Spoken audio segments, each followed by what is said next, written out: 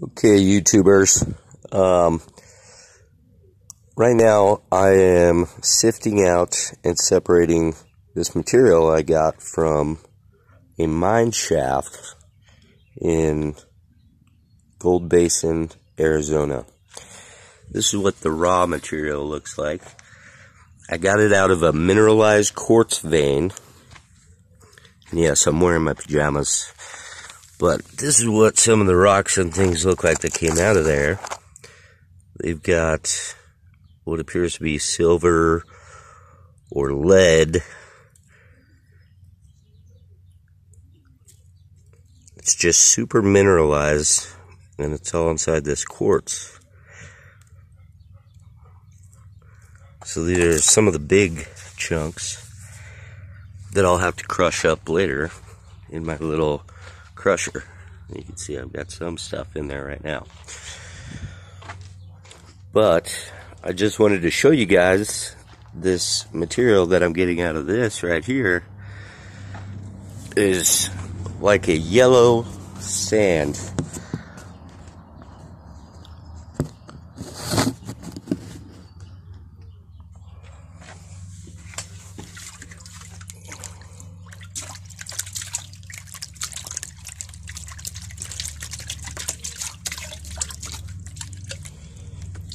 it acts and it looks kind of like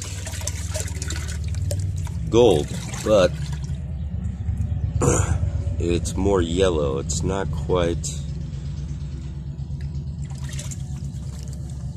that real gold color you're looking for.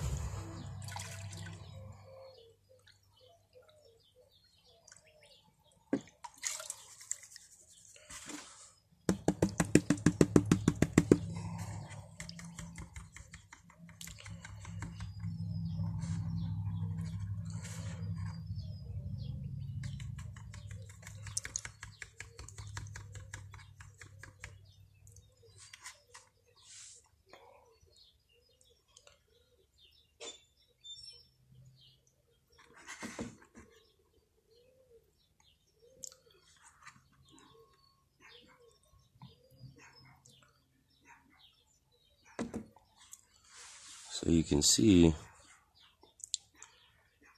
it acts just like gold. It's got kind of a goldish color, but it's yellow. And I'm not sure what it is, and I've heard other people talk about this stuff, but nobody has a good answer. So I'm just snuffering it up.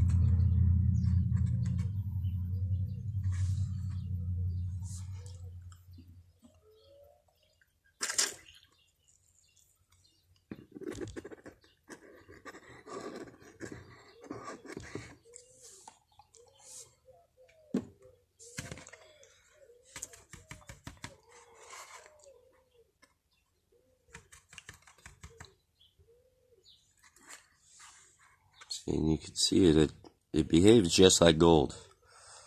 It's very strange.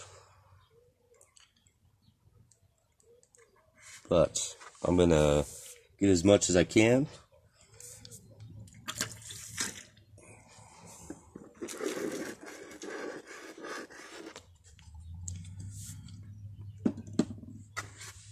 And then I'm moving it over to this beaker here and I've already got a whole bunch of it. And I'll clean it up and then I'm going to try to smelt it. So I'll do another video of me smelting it and see what we get out of it. Alright. Alright, I wanted to give you guys an idea what that, uh, that yellow sand looks like. I kept a lot of the black sands with it um, because I was scared that I would lose some of the materials or you know if this was gold bearing I didn't want to lose any gold so the black sands are pretty much at the top and the gold or the yellow sands are down here at the bottom. I apologize for my camera. I'm just doing it with a cell phone.